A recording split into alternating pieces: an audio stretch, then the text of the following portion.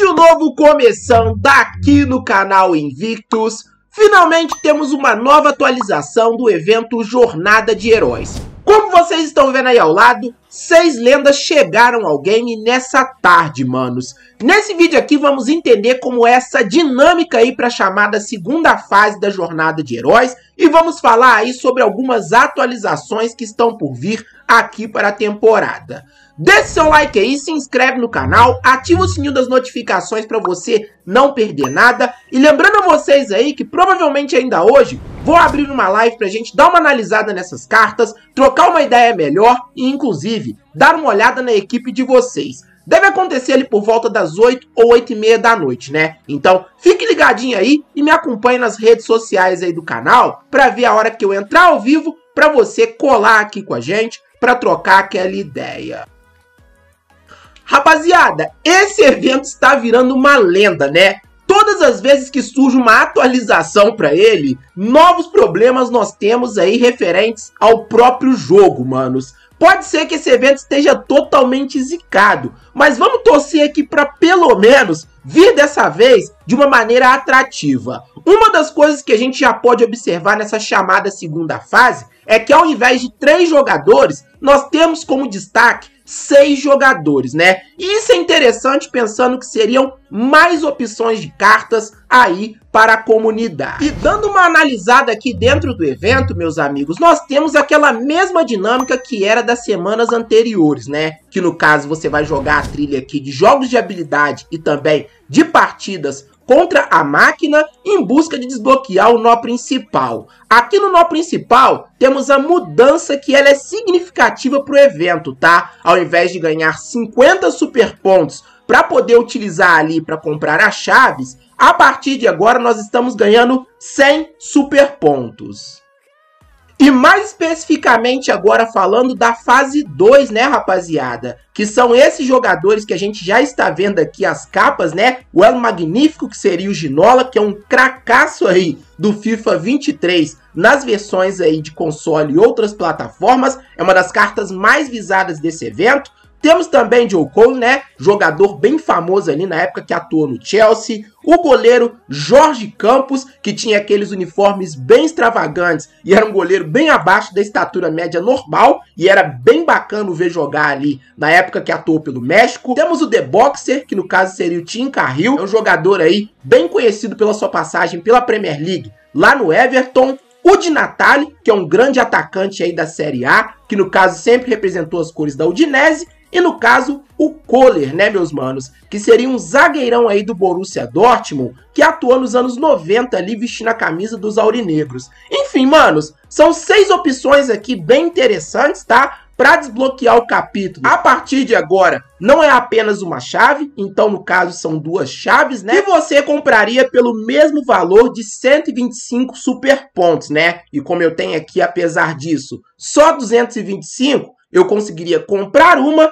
teria que jogar pelo menos essa semana para comprar a segunda. Assim, galera, dentro do que eu acredito aqui, se a gente parar para analisar, faz todo sentido, né? Eles manterem os jogadores de geral 100 com apenas uma chave e duas chaves ali para jogadores de geral 104, para dar pelo menos uma dificuldade e as pessoas pelo menos engajarem no evento. Nesse ponto, eu achei bem bacana, até porque se a gente considerar, meus amigos, que estamos ganhando, ao invés de 50 super pontos, 100 super pontos, até mesmo a quantidade de jogadores pode aumentar que a gente pode pegar ao longo dos dias. E falando aqui dessas cartinhas ainda, meus amigos, vim aqui para o mercado para a gente dar uma olhada aqui nas cartas, ó. Todas elas aí estão no geral 104. Lá na live eu vou dar uma analisada nelas com vocês, né? E falar sobre as possibilidades ali de resgate, se vale a pena ou não você estar pegando. Mas a princípio, meus amigos, num primeiro momento, olha só a ficha do Ginola, manos. Para uma esquerda, G104 está um absurdo. Top demais, né? E para as posições aí em específico, ó, Campos veio como goleiro, Kohler, como eu falei com vocês, como zagueiro, Joe Cole como ponta direita, Cahill veio aí como meio campista, Di Natale como atacante e Ginola como meia esquerda. Meus queridos, agora a gente vem aqui pro Twitter para uma publicação que é do Sato Campos, que foi um player ali que já postou ali os requisitos para você conseguir uma carta de herói. Aqui nessa nova etapa, né, estamos vendo o exemplo da carta do Kohler, mas provavelmente todos os heróis ali vão ganhar esse geral 104 e também os requisitos vão ser praticamente o mesmo, talvez diferindo país, liga e coisas do tipo, né? Como estamos vendo aqui, ó, ele pede 5 cartas de R97, 7 cartas de R93, 15 cartas de R90. Todas elas ali da Bundesliga, né? E esse desafio aqui, meus amigos, como vocês estão vendo aí, ó, o custo dele está avaliado em 26 milhões 850 mil coins, meus manos. O que necessariamente eu creio que é praticamente a mesma coisa que na etapa anterior, que era a etapa 1.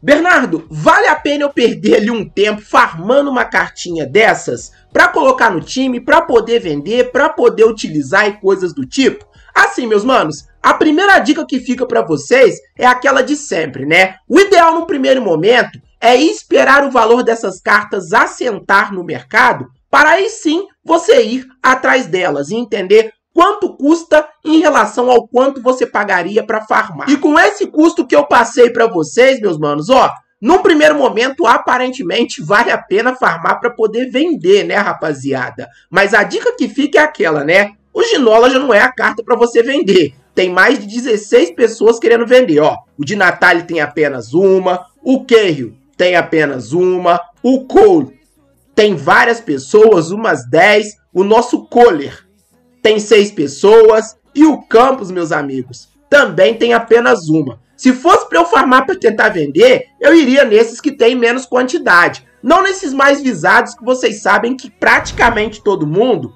vai atrás. Enfim, meus manos, nas próximas horas aí vou estar providenciando reviews para vocês. Belezinha?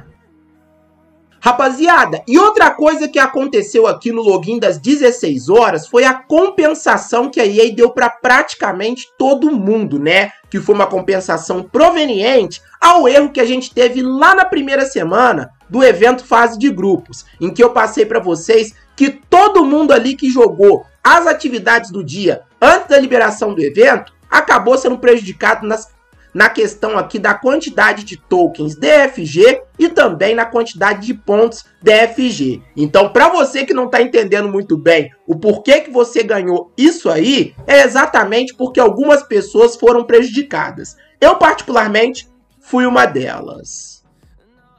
E para gente finalizar esse conteúdo aqui com vocês, Finalmente tivemos a confirmação aí da chegada do evento Screen Team ou Time Monstro para quem preferir na próxima provável quinta-feira, tá, rapaziada? Junto com a atualização ali de número 3 do evento Fase de Grupos. Minha expectativa para esse evento, meus amigos, é que traga várias coisas bem legais aqui para a temporada, né? Talvez ali uma cartinha do Benzema, cartas de jogadores ali que não ganharam versões mais recentes, né? Podemos apontar ali o próprio português Bruno Fernandes, que merece uma carta muito top e é uma das cartinhas aí que tem tendência a aparecer nesse evento. Está aí ao lado da identidade visual aí das cartinhas, né? Espero aí que seja bem bacana essas animações. Como vocês estão vendo, é uma espécie de verde com laranja, com um fundo um pouco roxo. Enfim, bem legalzinha e bem bonita e também a animação bem top. Deixe nos comentários aí o que, que vocês acharam do evento de heróis. Deixem nos comentários aí também o que, que vocês acharam da identidade visual das cartas do Screen Team. E nas próximas horas eu estarei ao vivo com vocês para a gente fazer aquela resenha, dar uma analisada nas cartas e também analisar as equipes de vocês. Tchau, tchau e até lá. Fui!